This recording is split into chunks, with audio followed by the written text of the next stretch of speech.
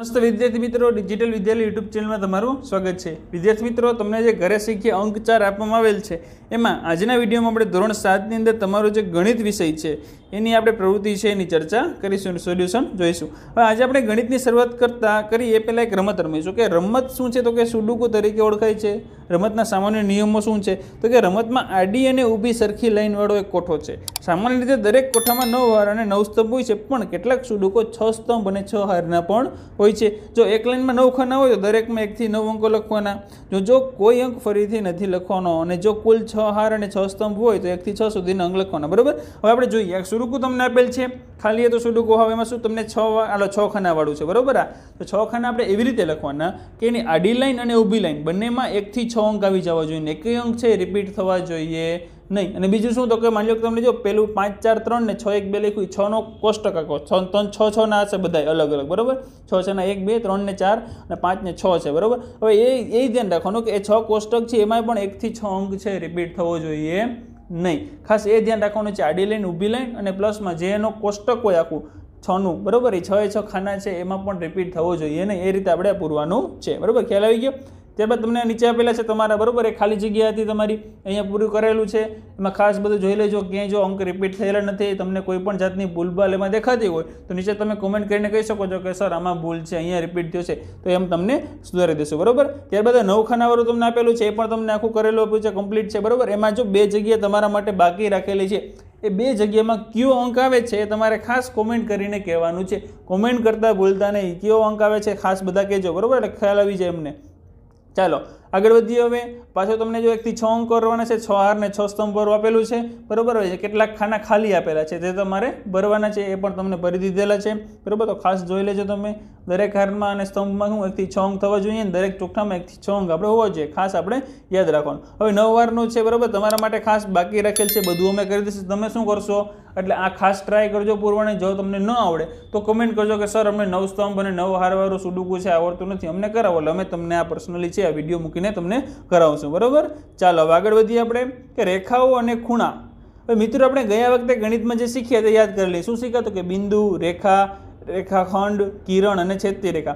હવે આજે આપણે શરૂ કરીએ તે પહેલાં એક નાનો સવાલ મારી મમ્મીએ મને કરેલો. તેની વાત કરું છું. તે મને કહે કે આસપાસ ચારે બાજુ ખૂણા જોવા મળે છે, તેમાંથી મારે વીસ ખૂણા લખવાના છે. હવે મને કેટલાક ખૂણા દેખાયા, પણ મારે તો વીસ ખૂણાઓની યાદી તૈયાર કરવાની છે. જો હું દસ ખૂણાઓની યાદ કરીશ, કરી શક્યો છું. મેં ક્યાંય ભૂલ કરી છે? જો હોય તો સુધારી પણ આપો અને બાકીના દસ માટે તમે મદદ કરો. તો થશે, બરાબર? ચાલો, દસ લખાય જો દિવાલનો ખૂણો, ખુરશીના પાયા વચ્ચે દેખાતો ખૂણો રસોડામાં. પછી લખ્યું છે, આઠમું થાળીની ગોળાઈ. ખૂણો નથી. જ્યાં શું લખ્યું? ગોળાઈ તો સુધારીને આપણે સરખું ત્યાં લખવાનું છે. બરોબર? એ કોમેન્ટ કરજો શું લખવાનું. પછી ચાલો હેલ્પ કરી. કંપાસ બોક્સ છે કાતર વચ્ચેનો ખૂણો, પુસ્તક વચ્ચેના ખૂણા, ટેબલની કિનારી, દરવાજાનો ખૂણો, માપપટ્ટીના ખૂણા, ઘરની દિવાલના ખૂણા, કાટખૂણિયાની બે ધાર, નોટબુકની બે ધાર અને વીસમું તમારે ખાસ કોમેન્ટ કરવાનું છે. બધા વિદ્યાર્થી મિત્રો ખાસ કોમેન્ટ કરશે ભૂલ્યા વગર. બરાબર? ચાલો, આગળ વધીએ આપણે. હવે ખૂણાઓની કેટલીક ખાસિયતો વિશે વાત કરી લઈએ. કે બાજુમાં તમને બે દિવાલ વચ્ચેનો ખૂણો આપેલો છે, તે જુઓ અને ઉપરના કોઠામાં તમે આવા કેટલા ખૂણા જોયા એ પણ તમે કહેજો, બરોબર?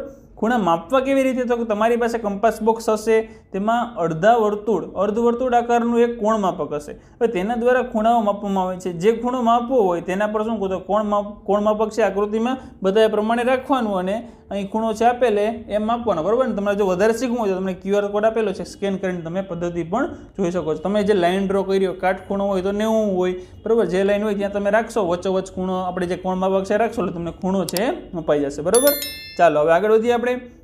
હવે તમારે શું કર્યું તો કે પહેલાં ખૂણાનું માપ નેવું અંશ આવ્યું તો કે હા ભાઈ, અમારે તો આવ્યું હવે નેવું અંશ આવે એને શું કહેવાય તો કે એ ખૂણાને કાટખૂણો કહેવાય છે. તમારી આસપાસ જુઓ આવા કેટલા ખૂણા દેખાય છે, કેટલા હશે કે જે કાટખૂણા છે. ઉપર આપણે બનાવેલી ખૂણાઓની યાદીમાં કેટલાક ખૂણાઓ કાટખૂણાઓ છે. તેના માત્ર ક્રમ નંબર અહીં લખો તો કે અગિયાર, બાર, તેર, પંદર, સત્તર, અઢાર અને ઓગણીસ. હવે ત્રણ ખૂણાઓ, કેટલાક ખૂણાઓ છે એ કાટખૂણા કરતાં નાના હશે, બરાબર? તો આ ખૂણાઓને લઘુકોણ કહેવાય. આકૃતિમાં લઘુકોણ આપેલ છે, તે જુઓ, તમારે યાદીમાંથી લઘુકોણ એ તૈયાર કરો.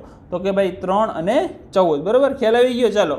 હવે યાદ રાખવાનું છે, શું કરવાનું છે? તો કે ભાઈ જો, જેટલા ખૂણાઓ નેવું કરતાં મોટા હોય, એને શું કહેવાય? ગુરુ કોણ કહેવાય છે? હવે લઘુ એટલે શું? તો કે નાનું, અને ગુરુ એટલે મોટું. નેવું કરતાં નાના હોય, એને શું કહેવાય? લઘુકોણ અને નેવું કરતાં મોટા હોય, એને ગુરુ કોણ? બરાબર? હવે આપણે બનાવેલી યાદીમાં કેટલાક ખૂણાઓ ગુરુ કોણ છે? બરાબર? એ આપણે લખવાના છે. પણ જ્યારે બે ખૂણાના માપનો સરવાળો નેવું થતો હોય, તેવા ખૂણાને કોટિકોણ કહે છે. બે ખૂણાના માપનો સરળ પિસ્તાલીસ પિસ્તાલીસના બે હોય, તેનો સરવાળો કેટલો થાય? તો કે નેવું થાય. તો એને શું કહેવાય? તો કે એને કોટિકોણ કહેવાય છે. કોટિકોણ હંમેશા કોઈની સાથેનો હોય છે. બરાબર? જેમ કે નીચે એક ખૂણો આપેલ છે, તેની સાથે તેનો કોટિકોણ પણ આપેલ છે. બરાબર? સાહીઠ છે, તો સાહીઠને ત્રીસ નેવું થાય, તો કોટિકોણ એનો આપેલ છે. હવે બે કોટિકોણનો સરવાળો હંમેશા કેટલો થાય? નેવું અંશ જ હોય છે.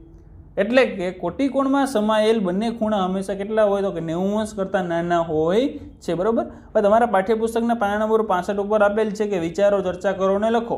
આપેલ છે તો તેના ઉપર વિચારીને લખવાનું છે, તેની નીચે પ્રયત્ન કરો અને એ પણ આપેલ છે, બરાબર? તેના જવાબ છે આપણે લખવાનું છે, બરાબર? જોઈ લેજો ખાસ અને એ પણ આપણે લખવાનું છે. હવે ત્યારબાદ જોઈએ આસન કોણ. હવે જો બે ખૂણાઓમાં શિરોબિંદુ એક જ હોય અને એક બાજુ સામાન્ય અવયવ હોય તો તેવા ખૂણાને શું કહેવાય? આસન ખૂણો કહેવાય છે. બરાબર? કે બે ખૂણાઓમાં શિરોબિંદુ એક જ હોય અને એક બાજુ સામાન્ય હોય. બરાબર? એક બાજુ કેવી હોય? સામાન્ય. તેવા ખૂણાઓને કયો કહેવાય? તો કે આસન કોણ બનશે? તેવા ખૂણાઓથી જે કોણ બને શું કહેવાય? આસન કોણ. પાઠ્યપુસ્તકમાં તમને પાના નંબર સત્તાણુંમાં નીચે આપેલ આકૃતિમાં એક અને બે જુઓ. આ જોતા એ પણ સમજાશે કે એ જરૂરી નથી કે બે આસન ખૂણાઓ પરસ્પર પૂરક જ હોય છે. બરાબર? રૈખિક જોડના ખૂણાઓ જોઈએ. કે એક જ રેખા પર આવેલા બે ખૂણાઓને રૈખિક જોડના ખૂણાઓ કહેવાય છે. પણ નીચેની આકૃતિ જો તેમાં તમને આપેલ ખૂણાઓ એક જ રેખા પર આપેલા છે, એટલે કે રૈખિક જોડના ખૂણાઓ તમને આપેલા છે. ત્યારબાદ જોઈએ અભિકોણ. બરાબર? કે તમારા પાઠ્યપુસ્તકના પના નંબર સો પર જુઓ, તેમાં અભિકોણની સમજૂતી આપેલ છે, તે વાંચી અભિકોણ એટલે શું? તેમ એ અહીંયા લખવાનું છે ને સાથે સાથે આકૃતિ પણ દોરવાની છે. અભિકોણ એટલે શું? તો કે પરસ્પર છેદતી બે રેખાઓથી બનતા ચાર ખૂણાઓ પૈકી સામસામેના ખૂણાઓની જોડણી અભિકોણની જોડ કહેવાય છે. અભિકોણના માપ કેવા હોય સરખા હોય છે? તમને આકૃતિ દ્વારા સમજાવેલું છે. સામસામે બે ખૂણા હોય ને માપ કેવા હોય સરખા હોય. બરાબર જો ઉપર બે ખૂણા છે, ઉપર નીચેનો કેટલા છે? તો એકસો વીસનો ને બે બાજુના છે સાઠ સાઠનો બરાબર? તમે ખાસ આકૃતિ છે ડ્રોઈંગ કરી નાખજો. ચાલો, હવે સ્વાધ્યાય પાંચ પોઈન્ટ એક ગણવાનું છે કે હવે તમારે અમારા માટે પ્રશ્નપત્ર બનાવવાનું છે. આ તમારા માટે જેમ પ્રશ્નપત્ર બનાવેલું હતું, એમ તમારે પણ સામેવાળા વ્યક્તિ, શિક્ષક માટે બનાવવાનું છે. અમારી પરીક્ષા લેવાની છે, જેમાં કુલ પાંચ પ્રશ્ન હોવા જોઈએ. ઉપર ગણિતમાં તમે જે શીખીએ તેમાંથી પ્રશ્ન બનાવજો. તમે આકૃતિ દોરવાનું કહી શકો છો, તમે શું સમજ્યા છો તે જાણવાના પ્રશ્ન પૂછી શકો છો, તમે માપવાનું પણ કહી શકો છો. તો તૈયાર જરા જુદું કામ છે, પ્રશ્ન તમારે અહીં નીચે લખવાના છે. તમારા માટે અમે લખ્યા છે, તમે આના કરતાં બીજા પ્રશ્નો તમને જો અલગ આવડતા હોય તમે તે પણ લખી શકો છો. પહેલું છે કે પાંચ ત્રિકોણ દોરી તેમની બાજુઓ માપો. ચાલો માપવાનું કહી દીધું. માપપટ્ટીનો ઉપયોગ જણાવો. માપપટ્ટીનો ઉપયોગ શું કરવા થાય? ખૂણો માપવા માટે કયા સાધનનો ઉપયોગ થાય ભાઈ? પછી તો કે નેવું અંશના માપવાળા ખૂણાને કયો ખૂણો કહેવાય? આપણે જોયું ને, બરાબર? આગળ કોટિકોણ એટલે શું? આ પ્રશ્ન છે, આપણે પૂછી શકીએ, બરાબર? હવે આવતા વખતે આપણે અનુકોણ અને યુગ્મકોણને શીખી લઈશું, બરાબર? તો વિદ્યાર્થી મિત્રો, તમારી જે પ્રવૃત્તિ હતી ગણિતની, અહીંયા પૂરી થઈ ગઈ. આવી રીતે તમારી બધા વિષયની પ્રવૃત્તિ છે ઓલરેડી અપલોડ થઈ જ ગઈ છે. તો ખાસ તે પણ જોઈ લ્યો અને તેમાં પણ સમજી લ્યો અને તે પણ સારી રીતે લખી લ્યો. અને વિદ્યાર્થી મિત્રો, જો ચેનલમાં નવા હો તો ચેનલને સબસ્ક્રાઈબ કરી નાખો અને બાજુમાં રહેલા બે લાઇકનને દબાવી દો.